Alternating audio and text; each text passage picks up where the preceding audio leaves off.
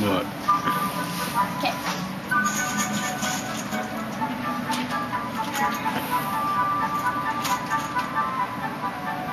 It's Charlotte, the tool girl, inspecting the tool packages.